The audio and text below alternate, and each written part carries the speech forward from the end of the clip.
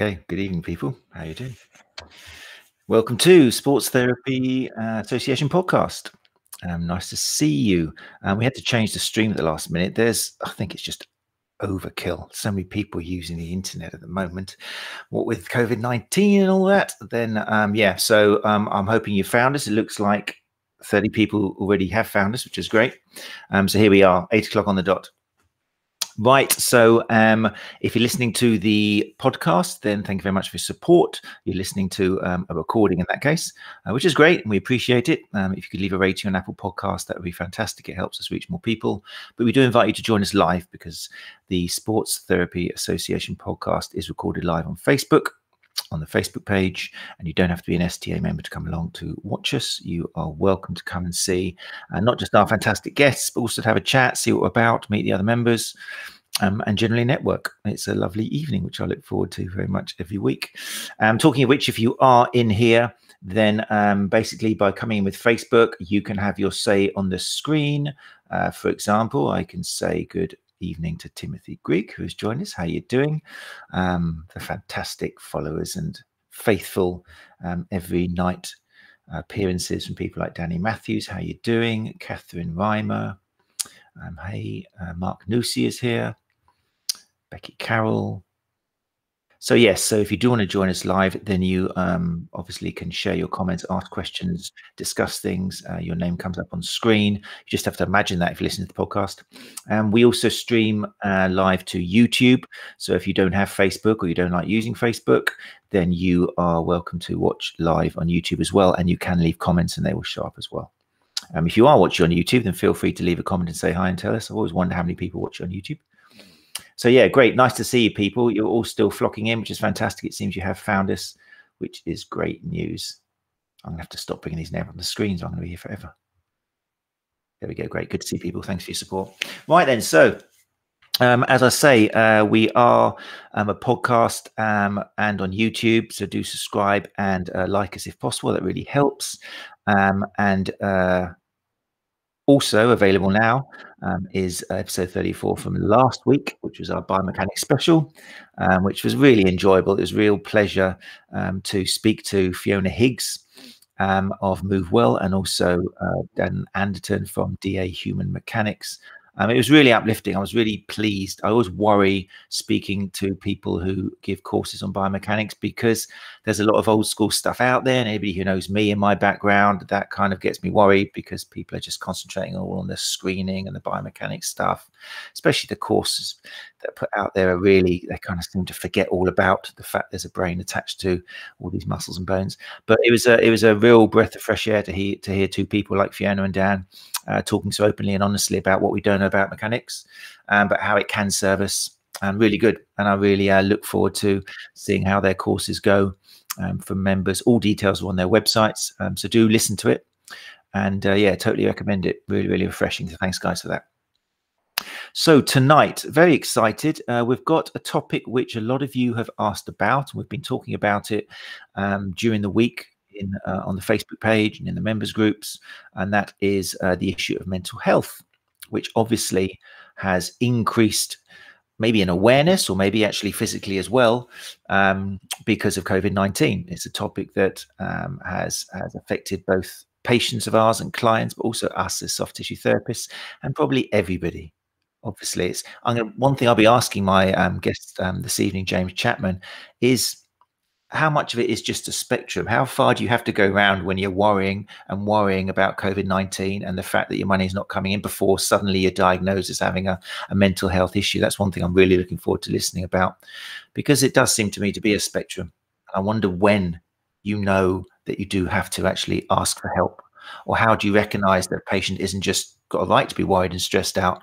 How do you know when actually you need to be maybe referring on or asking those questions recognizing the triggers?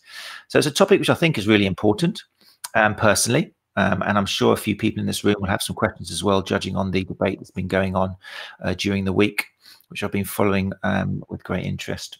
So i will bring our guest up. Obviously any questions you have fire away um, interrupt, I can see your comments at the side. Uh, James will be able to see your comments. He'll be able to say, "Stop a second, I've got something interesting there. I want to reply to so and so." So um, there we go. So without further ado, I will bring up Mr. James Chapman. Hello, mate. How you doing? Hello there. Hi. Nice to be here. I'm very well, thanks. Thank you for joining us. Okay, Especially if I've seen you're a busy man with lots of little ones running around. yeah, very busy. And uh, yeah, the pressures of uh, working from home um, and homeschooling and my office uh, for the morning, I, I did a live uh, online session uh, I think it was about four hours, and I was sat on my two-year-old's bed, and I had a laptop and equipment set up on my bed, and I was sitting cross-legged, and I was all hunched over. hunched over like that. So, uh, so yeah, it's been. Uh, okay. It's been we very... don't judge posture here. It's fine. But I'm pleased to hear that you are stressed. There's nothing worse.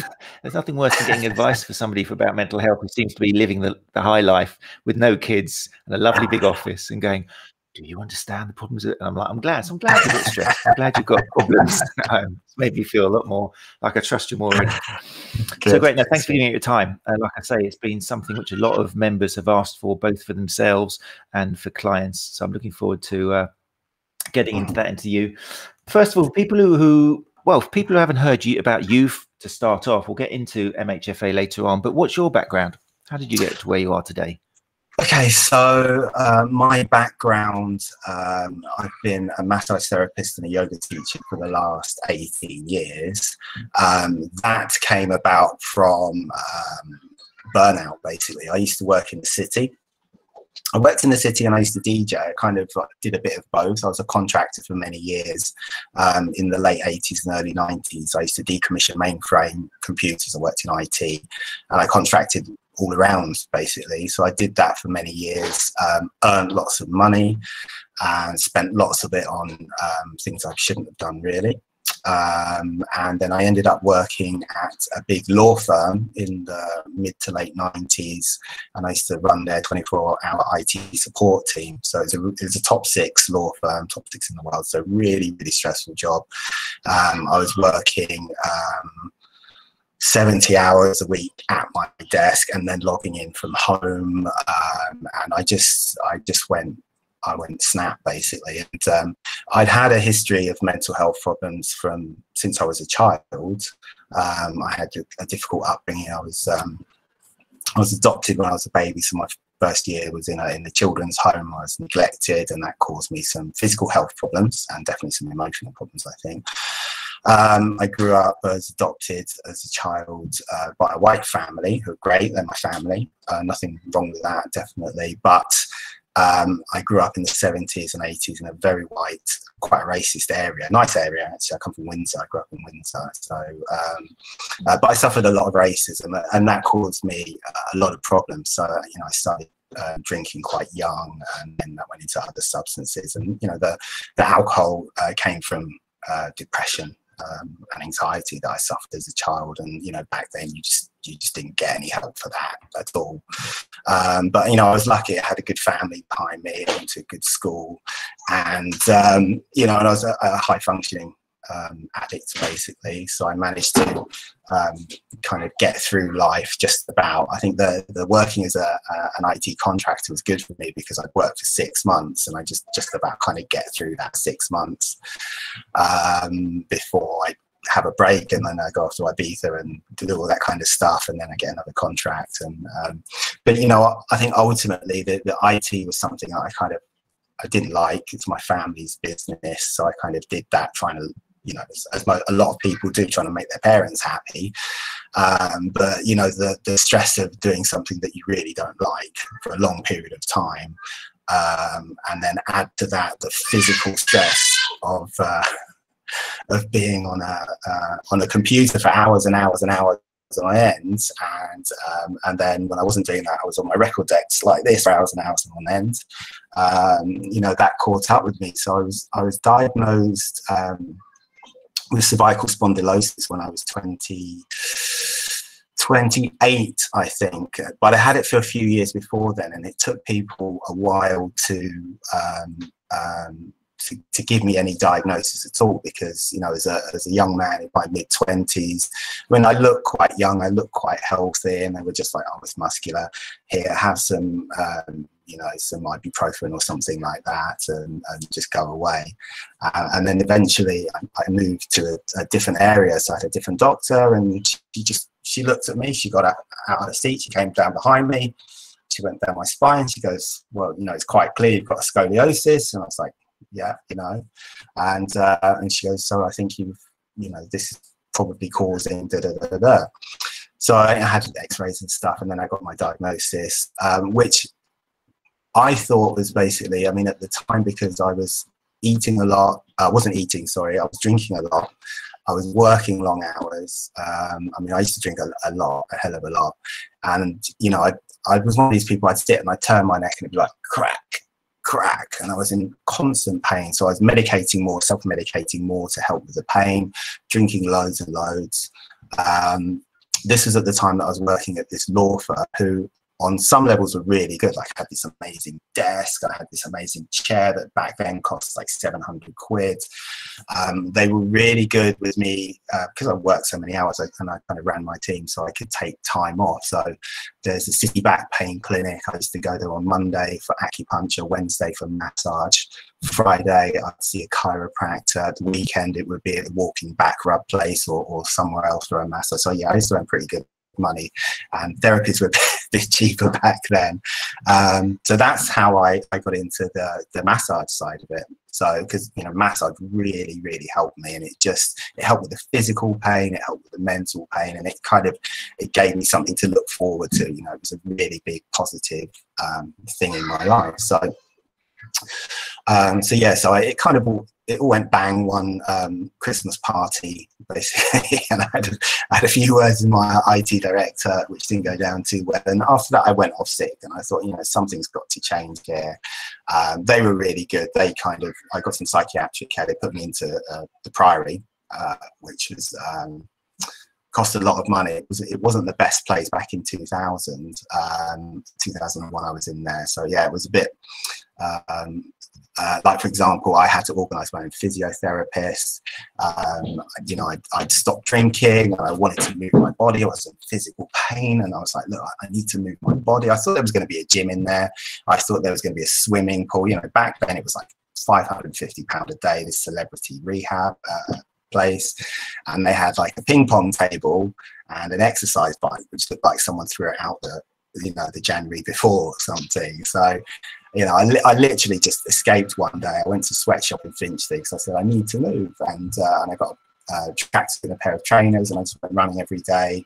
Um, so you know, back then it was very much like it's in your mind. Like it's in your mind. If you distract what's going on in your mind with your body, um, then you're not going to do the work. And da, da, da, so, um, so you know, that wasn't a positive experience in many ways, but I did actually stop drinking um, then, which is good. This year will be 20 years, uh, which is great. And um, so then after that, I thought I need to do some more work on myself. I was being sent up and down Harley Street by my company because they wanted me to come back to work. And I was having these um, uh, steroid injections uh, in the soft tissue around my spine to help with the pain. And I had loads of those and they just stopped working. Uh, more and more painkillers, antidepressants, sleeping pills, a lot and uh, and I just thought, you know, I can't I can't carry on like this. And all of these doctors were saying you have to go back to work, and all you're going to do for the rest of your life is manage the pain. And then uh, I went to another uh, rehab, which is great. It was called the Core Trust in Marylebone. It's no, no longer there, but they had uh, full body shiatsu, full body acupuncture was part of your weekly treatment. Uh, you had qigong. Um, they gave you a proper breakfast when you got there, so you had porridge and detox tea. Um, if you behaved yourself, you could get all kinds of different body therapy, Indian head massage, reflexology, all kinds of stuff. You know, so for me, that was that was great. That was kind of because I could start to feel my body, and you know, one of the things with uh, uh, mental health, a lot of mental health problems is people uh, get disconnected from their physical bodies. You know, um, and then it's this kind of cycle of stress. So, you know, you have some physical pain, this creates mental pain, the mental pain creates more physical pain, so you stop moving more and more, and then it's. Um, so for me, that was great. And I met this Qigong teacher there. So, um, you know, Qigong is a Chinese system of, of health through movement. And uh, he just looks at me, he goes, Yeah, he goes, yeah, I can help you. He goes, But you know, you've got to stop taking the painkillers, you've got to follow my exercise. It's going to be really hard. You're going to have to deal with the, the mental aspects of it because you've been in pain for so long, even though you know was, the movement was there now. There shouldn't be any reason. I had lots of scans and stuff. Um, so I think I was dealing with a lot of the, the throwbacks from my diagnosis, which was actually, I think, just because of my poor posture um, and the fact that I was so skinny. it was just because I didn't eat at all. So I was just skin and bones, and I think it was it was just that, you know. Um, so you know, within a very short space of time, uh, I got my physical health uh, much better. Was, was was getting really good. This helped with my mental health. Um, and I stuck with this program. There was a day program, a structured day program there. It's a wonderful place, um, really good talking therapies as well, which is you know really big part of that. And then when I was there, my company said they can't hold my job open. I was like, fine, I don't really want to go back to that chaos. And uh, so they got they said come back and do some project management. It's great, and they got three people to do my job, which was lovely. And uh, so uh, I threatened to take them to court, and of course they you know, gave me lots of money so that I didn't, uh, which was good. Um, and at the time, the lawyer said if you'd have gone to a um, um, Commission for Racial Equality, you'd, you'd, have retired on what they were giving you. I mean, I, don't know whether there was any racial motivation to what they were doing at the time because, you know, the, the city, you know, if they can get their pound of flesh out of you, they will. If they can get you to do three or four people's jobs, they will. I worked at a law firm. Lawyers work massive hours. You know, they like do the jobs of, of two or three people, but the difference between a lawyer and a normal person is then like 400 or pounds an hour. Um, so yeah, so I just decided then, you know, I want to dedicate my life to, to health. I went to a place called the City Lit, um, and I was, um, you know, I studied massage there because uh, massage is something that really, really helped me, and I, I really wanted to um, to know a lot more about it. I got into yoga. I decided to do a yoga teacher training, uh, just because from my point of view, if you want to learn something, the best way to do is to learn to teach it. And I had the time, I had the money, um, was initially going to go back to working in the city. And then actually I went up to my, my physio's was in Threadneedle Street and I, I went there one day and I, beautiful summer's day. I still remember it really vividly. I came up from Moorgate Station and I love aspects of the city. I love the, the history, the architecture. I love the buzz around it. And so I was happy to be there, it was just angry people wearing very expensive clothes, just pushing me out of the way and just being really just, uh, and I just thought, I can't, can't be part of this anymore. Um, and then I, um, I was, I think I was working as a DJ at the time, um, started working again as a DJ.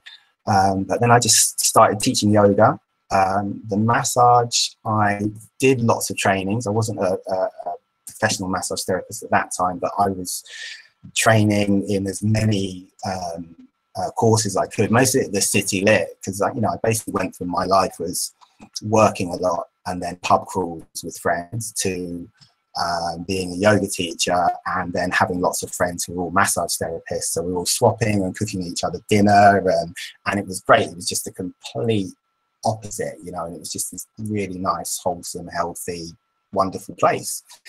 Um, and then eventually, um, you know, I was teaching yoga for a few years, full on. I was doing really well with that. And then I got a friend of mine a job at uh, Triyoga, where I've worked for a long time. It's a big yoga centre in London, for those that don't know it. And, um, and I remember I sat on the beach in India one year, and it was glorious and I should have been all like on and just fantastic. And I was stressed because I didn't have half a dozen yoga classes to teach. And I thought, well, I'll just swap one rat race for another rat race. Um, and she said, become a therapist here, why don't you work here? And I, and I did. And, uh, and I've been a therapist there ever since. Um, you know, since then I've trained in sports massage. Um, I've done a lot of work with James Earls, Tom Myers, and Til Luchau as well. So I've gone down the myofascial path. I don't know whether I'm releasing anyone's fascia or not. You know, but my aim with my treatments is to is to give good function. I've also worked with John Gibbons as well in Oxford, who's who's excellent too. Um, and and in that time, I mean, when I first started as a yoga teacher, I actually taught yoga to a couple of drug rehabs. Um, about three or four actually in North London. I volunteered as a massage therapist at a, a Rugby House, which is uh, Islington Council's residential drug rehab, um, and that was just amazing because I, went there and I just thought I'd just do some chair massage, and I went there and there's a group residential, you know. Um, and um, no one I said, you know, who wants a treatment. Everyone was like that. And there was this Irish guy who was like a really wiry, tough builder in his fifties, you know, like lifelong kind of alcoholic. You could really see it on his face, real tough man.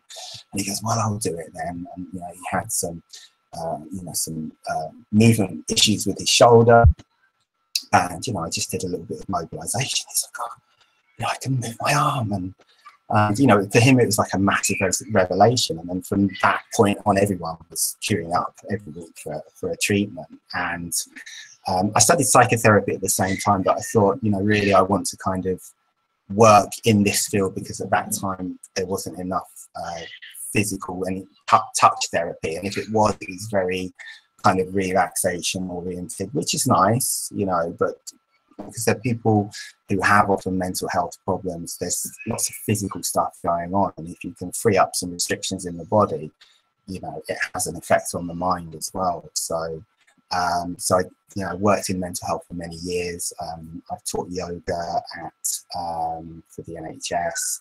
Um, I also work for some very high level drug rehabs who also work with people with mental health uh, issues as well. Um, so they're all like sixty thousand pounds a week if you get ill, so it's really, really high level. And it's great that people can have that level of care, but it's also kind of nice to, um, you know, to work the mind and rethink a long association with as well. Um, and then I came across, um, oh, hello, Matt. Yeah. Um, I came across MHFA a few years back, and then even though I've had lots of training um, in mental health from my psychotherapy training, from um, my training with um, I'm a yoga therapist as well. I've had lots of specialist mental health training with yoga. Um, and I did the course and I was just like, this is great, you know, and straight away I knew that I wanted to do this because like for me, I want to, to help people, you know, because, um, you know, mental health services are not great. I know we're going to speak about that a little bit later, and, and it's it's kind of really good to be able to help people in, in ways that they might not be able to get help. And the MHFA training was really wonderful. Yeah. So I wanted to do it's that. Interesting that I mean that's a real that's a real kind of um, good testimonial for the course. If somebody with your background who'd been on the receiving end of lack of service, should we say, um, with lots of people not even recognizing or dealing with your posture more than what was maybe going on in your life and everything, to actually having an, an, introduction to working with people with mental health problems as well. For you to go to a course and go, wow, this is amazing. Must have been that course must have been something quite special for, for someone of your knowledge already to actually commend it. Yeah. I'm interested in knowing from what you've said so far about your personal experience, which obviously brings so much to the table that you you know what it's like on both ends, receiving and giving um, advice when you look back to your um, issues with pain and when they did look at your posture and go, well, this is the problem, and they're giving you corticosteroid injections and all this kind of traditional stuff, along for those years, did anyone back then kind of address the fact that some of the pain you were feeling was to do with kind of the psychosocial stuff as opposed to just the biomedical? Was it something that came up when you went to see a massage or sports or physio or NHS, or it was just they were fixated on your physical things?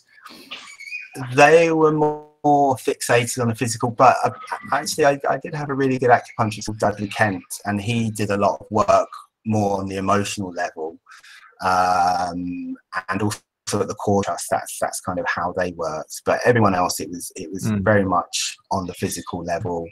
Um, and, and even with the uh, psychotherapists I work with, no one ever looked at the underlying causes of of what was going on. It was always, um, you know. So, at what point did you? Because you mentioned at the beginning that you you now you can look back and reflect on your childhood, being um, with a all white family in the neighborhood and races and all that. Is it only now that you've kind of studied more that you realize how much of influence that played on and still probably plays, or back then were people talking about oh, the fact you're adopted, how does that feel? How do you, were people asking you these questions, which probably today they're going to ask you about in some kind of kind of therapy, or were they just not being asked or recognised? Or people were asking me about my adoption, and people were asking me. They were more interested in the fact that I had a white family and the problems that might cause. And I was mm. like, well, they're not the problem. It's the guys outside. it's the skinheads on the street. Mm. And I grew up in a barrack town, so there was a, a lot of soldiers who weren't uh, who weren't the most welcoming people uh, uh, at that time, and um, and just the local casuals and, and racists. You know, so no one ever actually addressed the racism and and that level of discrimination, wow, which I which is pretty much a daily thing. And and even like now it's only actually coming out that people are looking at that and looking at that as a thing. And you know i, I lecture in in the yoga world on, on racism and um, you know people I think it's one of these things. Like I've I've got three older sisters and an older brother who all they're all white. They're all uh, um, this, my sisters are all natural children. My brother's adopted as well, but uh, he's white. Uh, but my sisters, I'm close to them, and actually one of my sisters who I'm closest to uh, just recently, after George Floyd, um, she said to me, she goes, James, I'm really sorry. She goes, I never knew all that stuff that you went through because my mum told her about the hassles that I had with the police. Mm. And she goes, I just thought you were just wild because well, I was a bit wild, but you know, there is a reason for it, you know. And, yeah, which came first, know, the racist or the wildness? Yeah. Yeah. So it's oh, uh, fascinating. I mean, so these days, I mean, hopefully, if some if if somebody like yourself 20 years ago or so walked into a clinic and and they actually asked the right questions during the subjective then i'd cover a lot more if you came in as a person in pain and looking for a massage. Um, hopefully they'd uncover a lot more than they did back there 20 years ago. Yeah which brings us on to like the content. So i've i must admit and i've no, I thought for a second, or oh, do I say this out loud publicly? But I think it's quite important the fact that I like to think I mix in circles of quite a few therapists and keep my ear to the ground. But I hadn't actually, me personally, I hadn't actually heard of the MHFA before, which um, might be my ignorance, but also it makes me think how come when I'm looking at CPD and I'm looking at social media and I'm looking at all these people advertising um, you know, CPD for therapists. Why haven't I seen it up there? Why hasn't it been in highlights? Why don't I know about it? Basically, um, is it something which is getting more awareness during COVID, or do you think it's still not given it's, the attention which you think it should be? Mental health in general is getting more uh, attention now because of COVID, quite rightly. Um, but I think with the MHFA, the mental health first aid pre-COVID. It's one of these things. Thank you, Becky. Um, it's it's one of these things that uh, unless you're really interested in mental health and have a direct involvement in that, you might not have known about it. Um, so mental health first aid has been around for a while. And uh, thanks, Matt. it was a pleasure to have you. I want to speak to you actually. Um, yeah, it's been around for a while. And listening to the podcast, I'm just bringing up comments from people in the room who are showing a lot of love um, for James here. That's why he's saying thank you quite a few times. There's a lot of people who seem to have done courses with you. Yeah, sorry, yeah. continue. So, um, yeah, so it, it's one of these things that just doesn't. Um, uh, it just doesn't get the attention that it deserves. Now people are talking more about mental health, and there's still a huge uh, stigma around mental health, which is one of the aims of, of mental health first aid.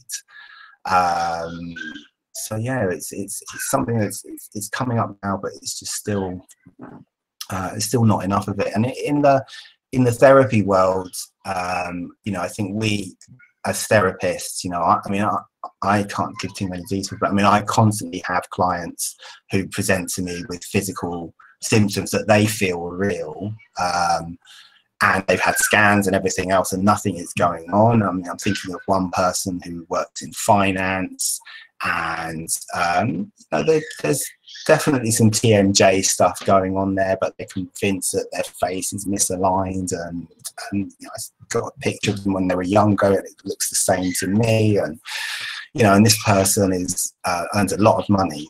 Um, they always want a discount. They've never got enough money to pay to pay me, and they earn a fortune.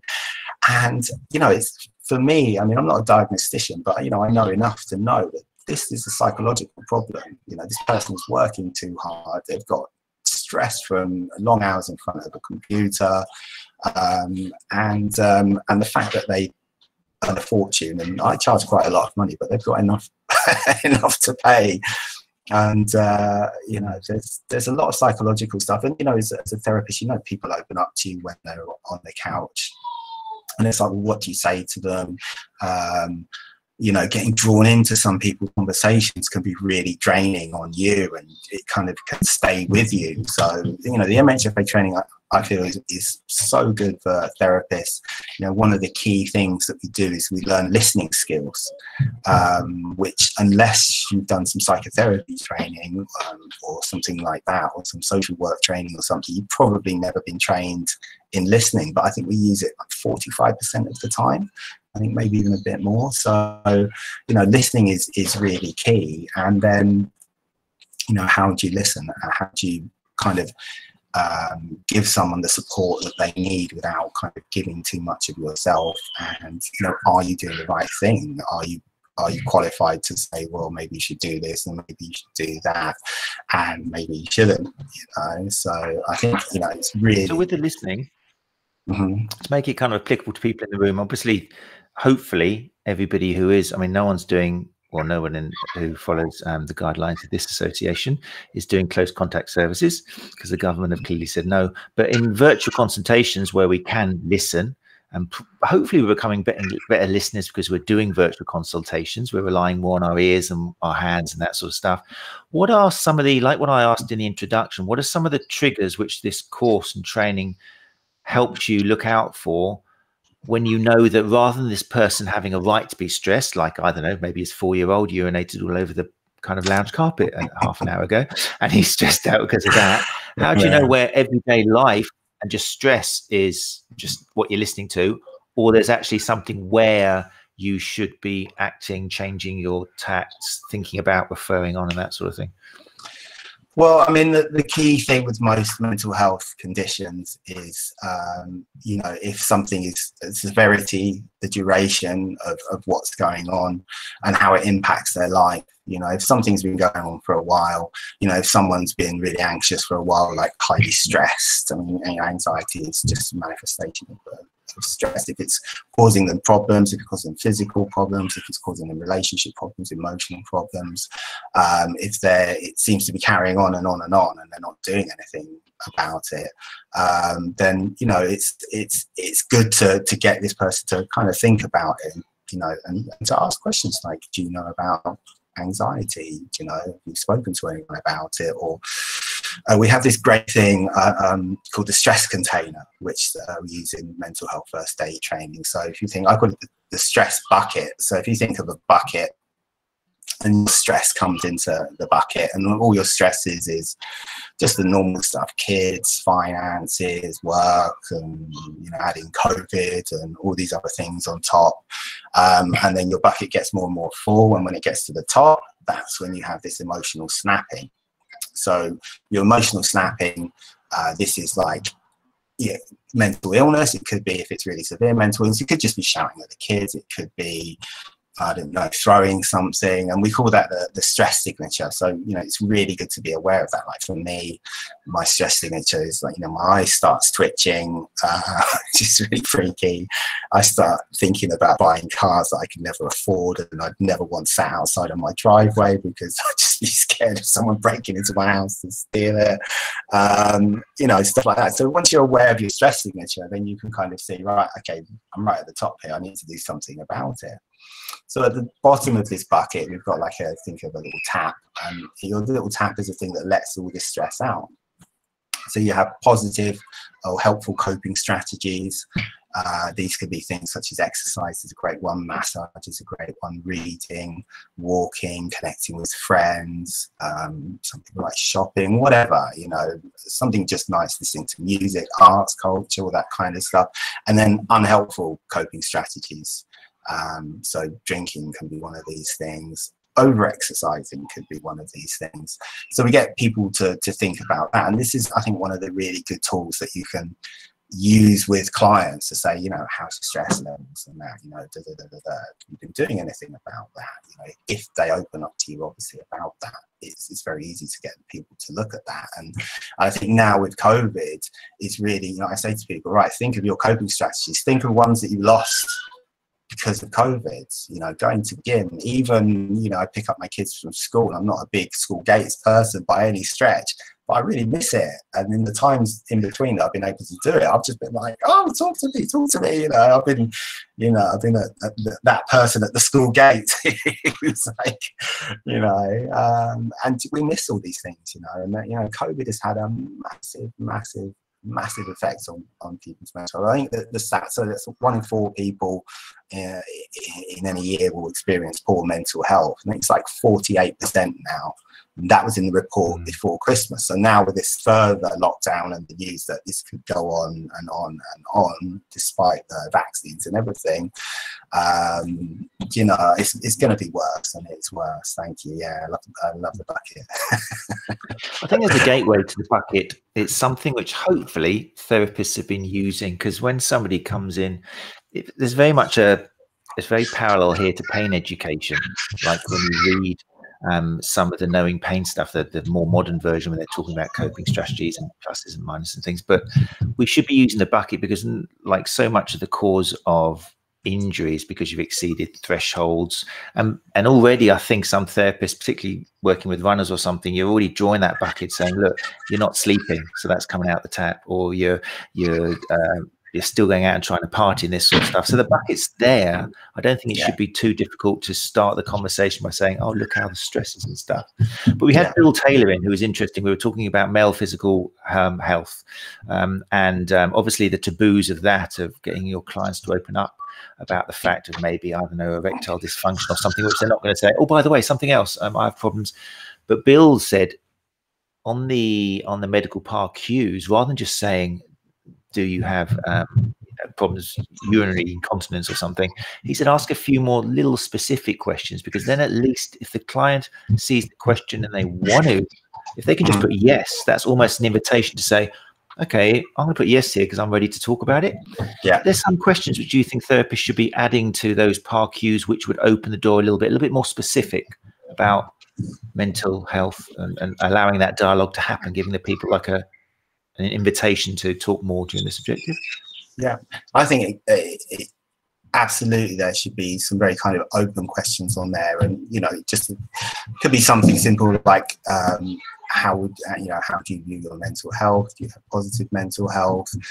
Um, would you say that you feel anxious more often than not, or you know, it's very easy to actually start that dialogue. And I think when people uh, you know, as you said, if that invitation is there to speak, people will often speak about that, and then that can, you know, unlock so much more. Uh, I work I work for a company called uh, Body Space in uh, Knightsbridge Fit Space in Chelsea. So it's a high end one on one personal training phase, and I'm employed by them. I mean, they have some great physios and great sports therapists, and and I go in there, and my job nine times out of ten is to get them people to relax, you know, and get them to sleep better. And, and, and you know, even though my, my treatments aren't necessarily relaxing, um, because, um, you know, if people are less stressed, you know, they're going to, performance is going to be better, their recovery is going to be better, they're going to get more out of their uh, sessions. And there's a, maybe one or two athletes that go there, but it's mostly, you know, wealthy people. But I think it, it really rings true. If people are happier in themselves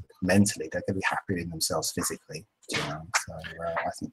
So we've got to go beyond a little bit. I'm just imagining. I wonder how many people in the room have actually got their little PAR-Q they give people, or the pre-consultation form, which just has. How would you describe your stress levels on zero to ten? That's probably as far as the question goes.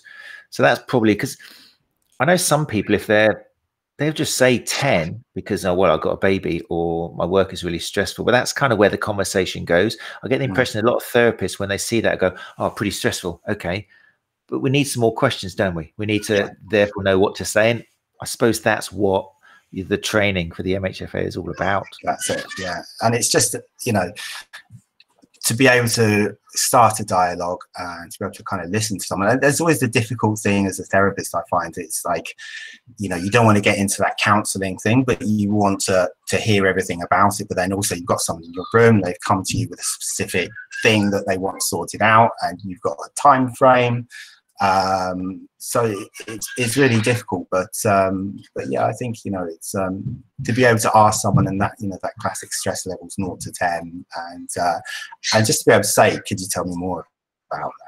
you know has this been going on for a while? Do you think it's got any effect on on what you're doing? You know what you come here for?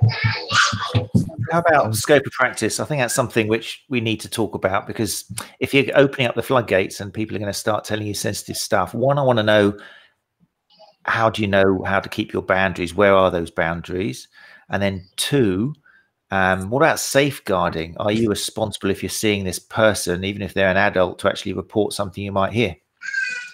Um, only reports. I mean, if you think that person is uh, going to harm themselves or someone else, then confidentiality is out. You know, um, but you know, mental health first aid training is very clear. We're not diagnosticians. We're not therapists. Um, just with physical, as, as with physical first aid, you're there until professional help comes you know so if someone comes to you and they're telling you this this this and this and it's like wow that's have you spoken to someone about that you know have you got professional help you know um, so we have this um, mnemonic just like physical first aid um, ALGEE and the E, the first E is encourage professional supports, and that's going to be GP, community mental health team, talking therapies. You know, if someone comes to you with something big, you know, you're there as a sports therapist, a massage therapist, or, or whatever your role is. You know, um, even if you're a qualified counsellor, if they're not there for a counselling session,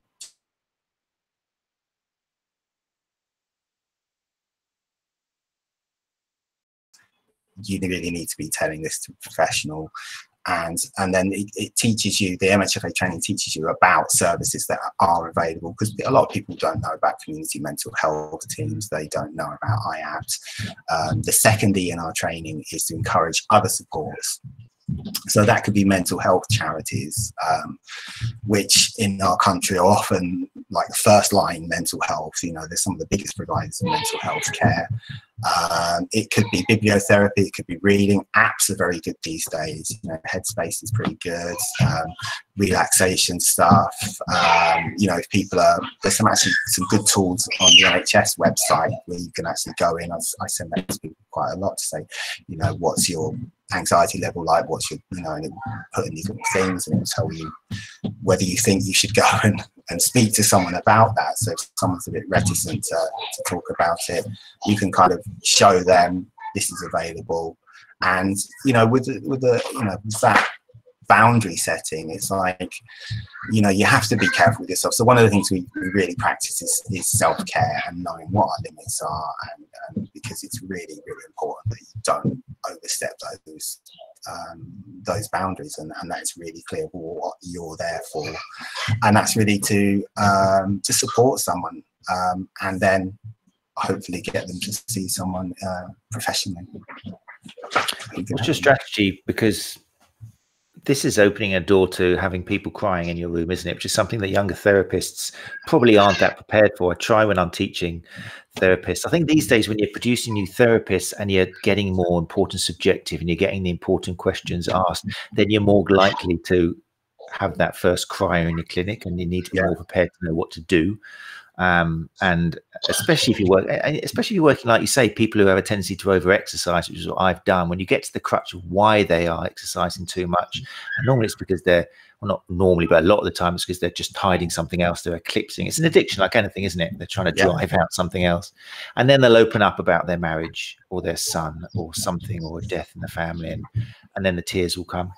This is something, obviously, I imagine you prepare people for um, yeah. on the course yeah. Um, is it something which is like naturally it's going to happen, it's going to happen, or have you taken the wrong route? It's suddenly they've just started work to come on and they've kind of kind of let out. Is there ways to avoid that, or is it something? Um, those questions. I think it's every every situation is is you know you have to treat that as a an, an individual situation. It's always going to be different every time, um, so you never know how people are going to respond. But you know, I think these are questions that really need to be asked. Um, but then, you know, in that I'm saying that sometimes it might not be appropriate to answer answer that. If you if someone's in front of you and you don't feel emotionally capable to deal with a possible outburst that they might have because you feel that there might be something going on, but you feel I'm not ready for this. I can't. Then, you know, it might be speaking to someone else about it to approach that person. You know, so um, so go on. What do you go? I've just got so many questions. I'm thinking now as you're talking, but I need to also got to fit in other people's questions. I will get to you people there. I'm just zoning in on James moment. Yeah, you continue. Sorry. Yeah. So, um, so yeah. So yeah, I think you have to be really, you know, you have to be prepared for that. You have to be kind of ready for it, and it's okay to be upset. You know, it's if if these things that if someone's like saying something to you and they've not talked about it before and they're going to cry, it's okay for them to cry. It's okay for you to be there when they're crying. You know, so we do uh, in our training we do crisis first uh, aid for major uh, mental health uh, conditions that are prevalent in society.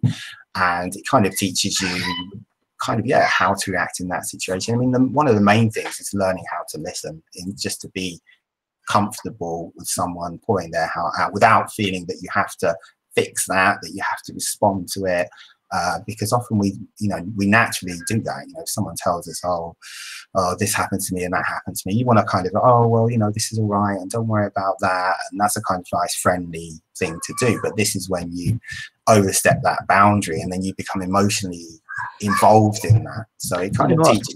What are some no-nos? Like I'm imagining straight away.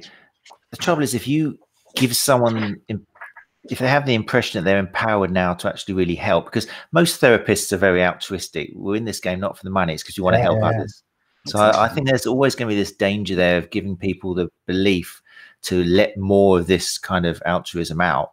And the idea, hmm. if someone start crying to think, well, I've done my course now, I can give them a hug, Got put your head on my shoulder. But straight away, you're entering a territory which could be disastrous for both you and the patient, I imagine. So, what are some other no nos like physical contact? I imagine. What other things should you watch out for? Do you learn on the course?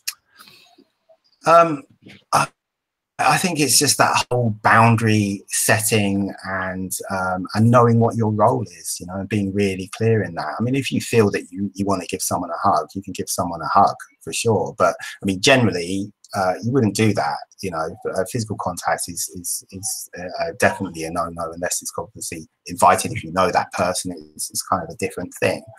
Um, and and yeah, and really, you know, I think the one of the the worst things that you can do is to kind of put your judgments onto someone else and and give them wrong potentially wrong advice you know because that way you really become involved in it um, so it's good to be clear you know it's really great that you told me that. I'm really happy that you did. This must be hard for you to do that. Have you spoken to anyone professionally about it?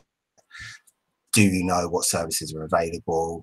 Can I give you some numbers? And um, can you get back? You know, and you know, if you if you're involved with that person and and you're friends with them, or they're a client of yours, and there is some obviously there's always going to be some emotional involvement with regular clients because obviously you care for these people. Um, mm but it's keeping that clear barrier to this is my professional life and you know and i can help you as a professional because you know their mental health is you know mental health and physical health are completely intertwined you know you can't separate the two.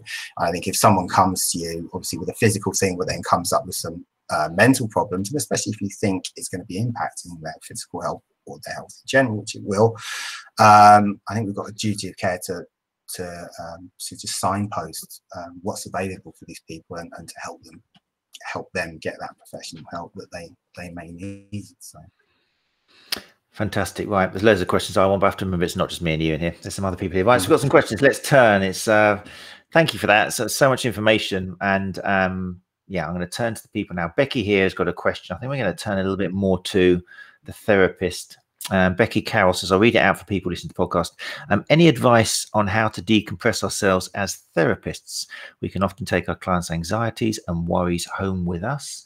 Any tips on how to leave it at work, so to speak? Good question, Becky. It's a really good question, and it's it's a very difficult one. I mean, I I, I mean, I don't want to get to unicorns and rainbows, but I kind of, you know, I feel like I'm a little bit of an empath sometimes, and you know, someone can see me with uh, I don't know some sciatica type symptoms, and I I of go home and I'm like, what's this about?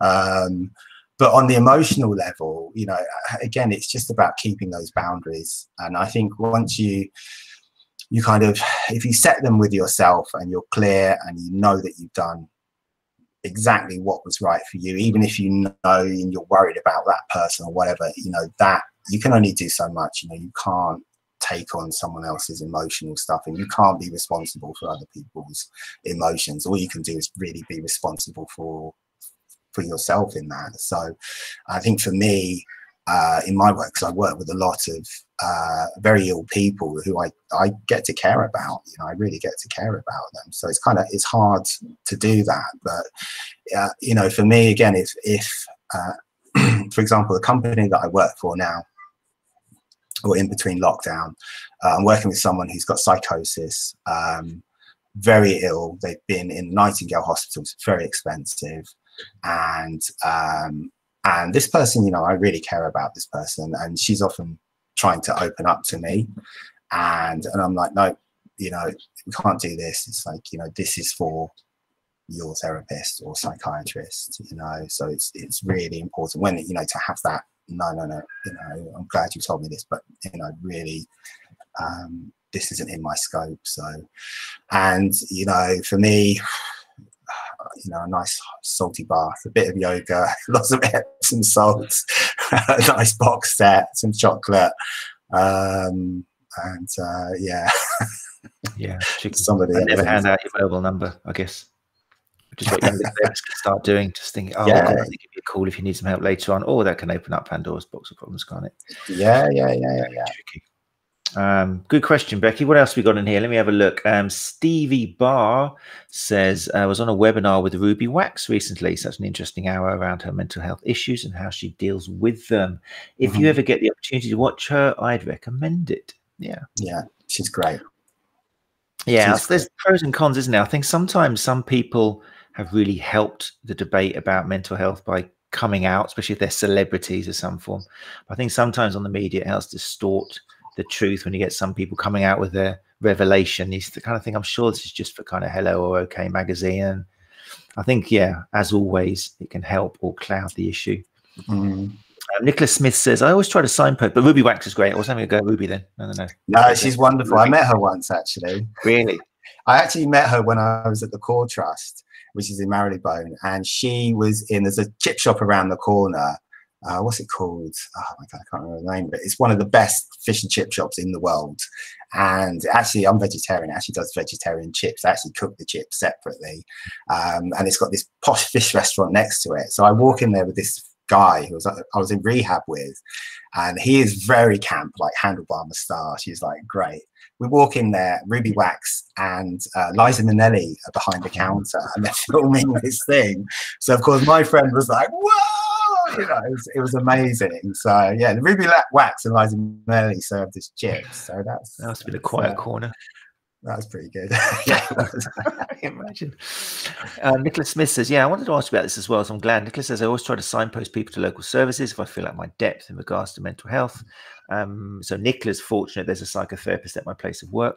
I guess mm. this is where people who, or I think you've already said you learn it on the course how to network and refer out, yeah. but these days people's soft tissue therapists really should have that in their in their phone book, shouldn't they? They should have the cards. They should have people already that they can refer to if they hear certain triggers.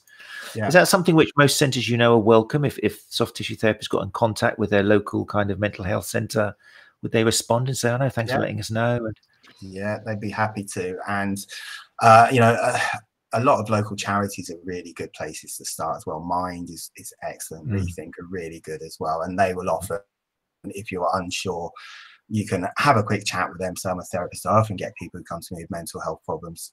Would it be okay to point them in your direction? And they'd be great because they will know all the different services and, and who they should go to and they can actually refer on to gps and or other mental health services too so, so and i guess it could work both ways looking at a business thing because when we're out of covid and we can do close contact but we know the one thing that that research does support is the benefits of massage for anxiety and depression and the mental health. So it could be a great way again of helping your business um, keep its head above water by getting referrals yeah. back. Good question yeah, yeah um, Sue, what have you said here? Sue said, I have on my client assessment forms um, that everything between us uh, are confidential. But if they do tell me something which I feel they could harm themselves, I have a duty of care to inform their GP occupational health. They sign to agree this, right? Yeah. But you don't need their signature. You're saying that if they say something which sounds like they could harm themselves or someone at home, yeah, you can get the confidentiality out the window. Is it? Even out the window, definitely. Yeah, definitely. So okay, fine. Um, good question. So yeah, definitely. I, I, love it when we get guests on like yourself here. Happened with Bill as well. Everyone's going to go home now and start modifying their PARQ, their middle question form, and start adding things in and checking it. It's good. Self reflection. Um, let's have a look what Corrine McCree has said down here. It's important to network in our local area with other professionals and have some names, charities, helplines to suggest to clients who show MH issues. Definitely, yeah. It's an important part of that networking, isn't it? Yeah, exactly. Cool. Um, right, people, if you think of any other questions specifically for James, and I'll give you a moment now. Oh, that was quick. Sana Sports Massage says, um, How would you support the clients you know need mental health support during lockdown, as sometimes a treatment in their space? Uh, is there space to offload? Oh, yeah, is there space to offload? Yeah. Yeah, I mean, again, this can be, it's very difficult. Um, there are, I suppose you could um, signpost them to um, other services that they could use. Um, there's talking therapies that are available. There's IAPT is one good thing that the government have been doing recently, which is access to, to psychological therapies.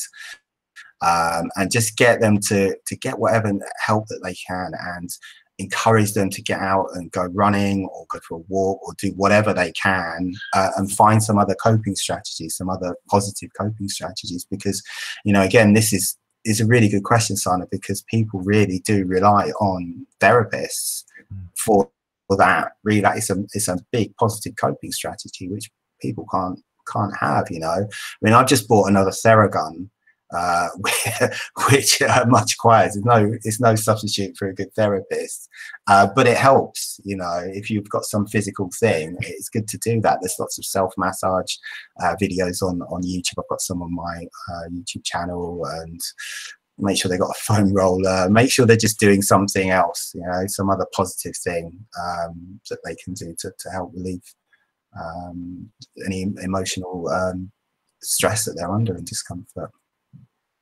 It's tricky the power of human touch, isn't it? Especially if they live yeah. by themselves.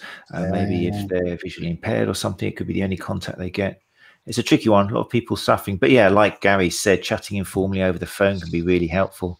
Sometimes the conversation might not replace it, but it might show them uh, another angle of offloading, like you say, that they hadn't considered before.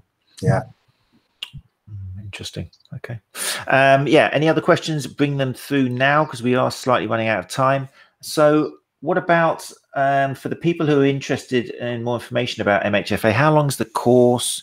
Is it running at the moment? Can you do it online? Yeah, yeah. so we've got online courses running at the moment. The mental health first aid certificate, uh, uh, which Matt uh, did with me, Matt Scaysbrook, that's um, it's normally a two day course in person. Online, it's four days and it's split over um, four sessions. Um, they're normally about two and a half hours each, sometimes a bit less. So we'll run two of those a week. So spread over two weeks. Um, so it's, it's quite manageable. There's some um, learning that you do at home as well. So it's, it's online stuff you can do and some workbook activities. Um, so we've got that course. We've got also a one day course, um, which is more for, um, it's more work orientated. And then we've got a half day course, which is um, a mental health awareness course, which is a good introduction if you're not sure whether you want to do uh, the certificate at the moment. Um, so there are links to these. Sorry, the links to these on your website. Links to those on the website. So upcoming courses, all about the mind um, dot com. Some people yeah. are asking. So yeah, there we go. It's all about the mind, all one word.com. If you're listening to the podcast, there's a screenshot um, on the page here. That's um, it. And we've we've got 50% off at the moment. So you can have 50% off all of our courses that we've got listed. Uh, if you use the code JAN50, and that's not, I think we've got that on our social, but it's not on the website, and we're not advertising that. Uh, big. So if you Jan50, uh, you can send me a mess- message, and if obviously anyone else that you want to reach out to you think would know this they can uh, use that code as well because I, I, think it's really important as a therapist myself um, that we get it out to this community. I think it's it's it's to as many people as possible really. So the, the one i'm running at the moment is fully booked I think everyone on it was a therapist of some sort or a therapist in training, a yoga teacher. There was a professional athlete there, actually, at national level too, but also just did the sports massage training. Um, so actually, it's really good because I can give uh, examples of where I've had people have panic attacks, for example, or people that come to me with psychological issues, and and, and give examples of that in in my uh, setting as a as a um, massage uh, professional. So. Fantastic. So well, there's a few people there already interested. So um, this lot are trying to, I can't use that word on social media. This lot, uh, they love posting links and helping other people. They're a very altruistic bunch. Oh, so they'll be spreading the good word, I'm sure. Um. And if they want to talk to you personally, are you active on one of the particular platforms? Was it better off emailing you, or what's the best way? Um, email was probably uh, the best. Um, yeah, I'm still, even though I worked in IT for a long time, I'm a bit of a dinosaur. what is your email address, James? uh, James at allaboutthemind.com if you want to email me. If you've got any questions or any queries about it, it's, it's, it's on the website. And, uh, that myself in the chat, so it'll be there forever now. That was me typing that. James Brilliant. at oh no, that's spelt wrong. Get rid of that. Delete it. Somebody. I've put an. I've oh my god, my spelling. I've missed out an L. There you go. Ignore me. Um, brilliant, James. Thank you so much. Um, it's a weird question, obviously, because we don't know what's going to happen um, in the next few months. But what have you? You've got the online courses. Anything else coming up for you, which is um, interesting in the next few months? Well, I'm writing. I'm working on a film script actually. I'm working on a film script. Yeah, yeah, yeah. I, the last lockdown, I wrote a short film, and it was picked up by a producer, and she wants to turn it into a feature film. So I'm trying to do that. You're allowed to give uh, us the uh, scoop of what it's on? Is it to do with mental health or? It's to, do, it's, it's to do with racism, actually. It's to oh, do okay. with uh, like a, my growing up and, and that kind of whole 80s vibe but it should be interesting. She's an award-winning producer, so um, it should be good. It should be good. But I've got to write the bloody thing first, which is difficult with homeschooling, doing this, kids, everything else. I'm also working on some anti-racism training as well. Um, and and trying to support my wife as well, who's a writer too. so very busy, yeah, very busy. I'm also learning the harmonica as well, which is great. Oh what else? Can, what else can you add to the equation? How's your stress bucket? How are you doing with the tap? How's it going? Write a book, uh, support my wife.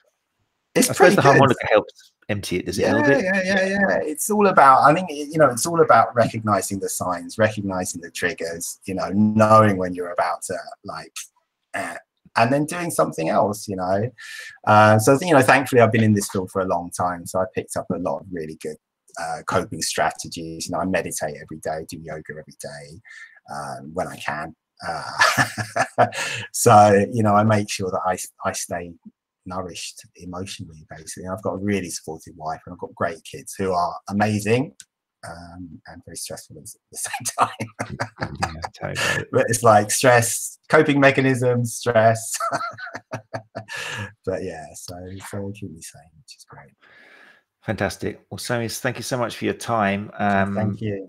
It's a pleasure. If everybody, like I say, ignore the email address I put in there, but the proper email list is there if you want to talk to James, and all the information is um, all about the mind dot it's a dot com, isn't it? If I remember yeah. Uh, which, which, actor is playing me? I would say I would say it might be Idris, but I don't want to give anything away. and remember, there is a discount on there as well um, if you sign up in in. Does it have to be signed up in January? Yeah, it does, it, it, does have to be signed up in January, but um, yeah, wonderful stuff. So thank you everyone uh, for your lovely positive messages as well. And uh, thank you very much, Matt and uh, STA for having me. It's been an absolute pleasure. Thanks for joining us. Right, people. Well, there we go. Um, I hope there's some good information for you there. As always, um, we're going to start doing some follow-ups kind of in in a month's time, James. It'll be interesting to hear about um, how your film score is going and who you've got playing mm. yourself. Oh, I now I think I understand why Bucks Brian Huxley suddenly put Denzel Washington. Denzel Washington. yeah, I'm not that old. Get it? I was trying to work out why is he putting Denzel Washington in the. Yeah, I'm not that old. Thanks, Brian. I'll be younger. I was going to say we're trying to work out who will play. Right, fantastic. Thanks, mate. Uh, people, we don't know who's on next week. I have to touch to Gary about that, but we will be back at Tuesday um, at eight o'clock again. Um, Oh yeah, we have to have a shout out for Idris, don't we? Here we go. Yeah, yeah well, we'll leave on that comment. Um, brilliant. Right, James, thank you so much for joining us again. And uh, everybody, we'll see you next Tuesday um, at 8 o'clock on the Sports Therapy Association podcast. Thanks very much. See you soon. Thank you very much. Thank you.